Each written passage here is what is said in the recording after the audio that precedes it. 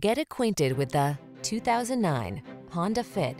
This vehicle still has fewer than 300,000 miles on the clock, so it won't last long. Take a smart approach to efficiency in this Fit. It's the four-door subcompact that offers a surprisingly spacious interior with clever layout options, distinctive styling, and all the latest technology to keep you safe, connected, and entertained. The following are some of this vehicle's highlighted options.